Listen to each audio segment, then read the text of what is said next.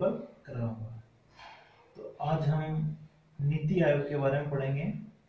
तो सबसे पहले नीति एनआईटीआई का पूरा नाम होता है National Institute for Transforming India.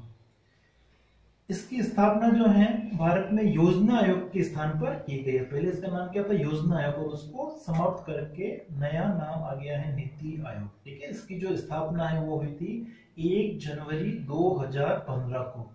और इसका मुख्यालय नई दिल्ली में है।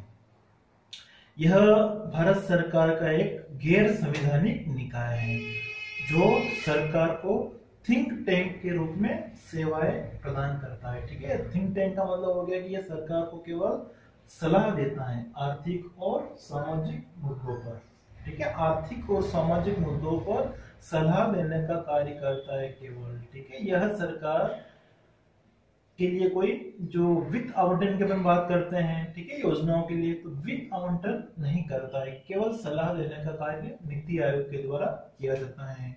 नीति आयोग द्वारा जो भी योजनाएँ बनाई जाती हैं तो उन योजनाओं की अंतिम स्वीकृति जो है वो राष्ट्रीय विकास परिषद एनडीसी द्वारा की जाती है, ठीक है। योजनाएँ बनाई जाएगी नीति आयोग द्वारा, लेकिन उनकी अंतिम स्वीकृति कौन प्रदान करता है?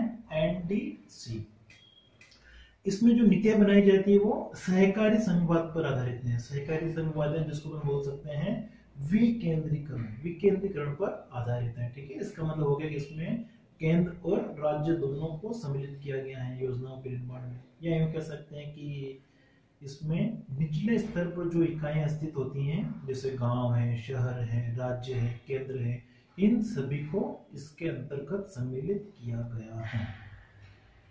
ठीक है? फिर अगर अपन बात करते हैं कि जो नीति आयोग है, ठीक है, उसमें कौन कौन से सदस्य अध्यक्ष क्या होते हैं? तो जब अपन बात करते हैं इसकी संरचना की तो इसमें एक अध्यक्ष होता है, ठीक है? और भारत में जो प्रधानमंत्री है, वो नीति आयोग का अध्यक्ष होता है। एक इसमें उपाध्यक्ष होता है, तीसरा मुख्य कार्यकारी अधिकारी सीईओ चौथा इसमें कुछ सदस्य होते हैं। ठीक है? सदस्यों में कौन कौन से? पहला है पूर्णकालिक सदस्य। ठीक है? इनकी संख्या पाँच होती है। फिर उसके बाद में पदेन सदस्य होते हैं। इनकी संख्या चार होती हैं, जो कैबिनेट या केंद्रीय मंत्री होते हैं पदेन सदस्य के अंदर। फिर उसके बाद में इसमें विशेष आमंत्रित सदस्य होते हैं, जो अलग अलग क्षेत्रों के विशेषज्ञ होते हैं। फिर गवर्निंग काउंसिल ठीक है इसके अंतर्गत राज्यों के मुख्यमंत्री और जो केंद्र शासित प्रदेश है उनके जो राज्यपाल होते हैं एलजी उनको सम्मिलित किया गया है। फिर नीति आयोग की आंतरिक भाग या दूरी की अगर बात की जाए, जिसको दो भागों में बांटा जा सकता है। फ़र्स्ट है टीम इंडिया हब और दूसरा है knowledge and innovation hub team India जो है वो क्या करती है? केंद्र और राज्य के बीच में समन्वय का काम करती है, जबकि दूसरा नॉलेज एंड इनोवेशन हब जो है इंटरप्रेन्योरशिप को भी हम कह सकते हैं, इसमें करते हैं तो इसका काम होता है एक तरह से आयोग को बेहतर बनाना। अब देखो इसके मेन जो क्वेश्चंस बनते हैं, जैसे क्वेश्चन ये बनता है, ऊपर जो अपन ने पढ़ा उनमें से बन सकते हैं, ठीक है? एक क्वेश्चन बनता है जैसे कि इसके प्रथम उपाध्यक्ष कौन थे? तो प्रथम उपाध्यक्ष कौन थे? नीति आयोग के अरविंद पनगड़िया।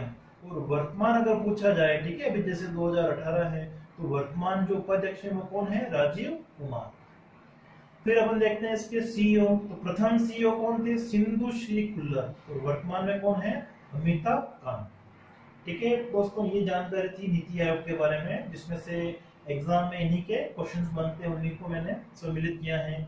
और मुझे विश्वास है कि आपको ये वीडियो अच्छा लगा होगा। बिल्कुल मैंने शॉर्ट में आपके लिए नोट्स अवेलेबल कराए हैं। इसी तरीके से आगे में बहुत सारे टॉपिक हैं।